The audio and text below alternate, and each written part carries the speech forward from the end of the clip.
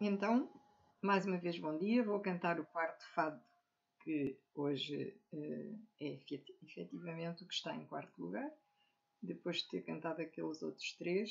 Também foi escrita a letra por mim e está, uh, uh, portanto, registada na Sociedade Portuguesa de Autores. E eu procuro um cantor para, este, para esta letra que escrevi.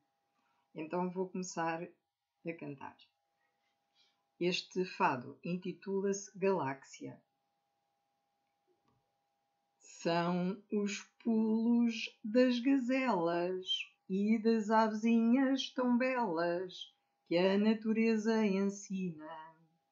Dão-nos vitalidade a olhar cheios de vaidade o que o Criador domina. Homem ou mulher, amor, filho e filha só em flor são traços de beleza, tal qual como as flores do campo, simples e em seu encanto, mostrando tanta pureza.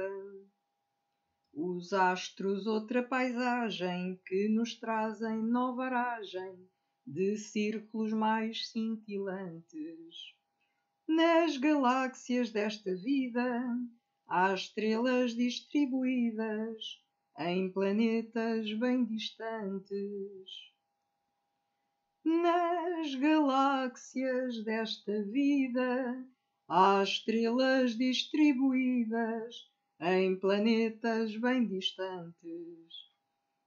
Obrigada, então, até logo. Por, por agora, de manhã, fico por aqui. À tarde, cantarei mais cinco fatos. Obrigada, bom dia.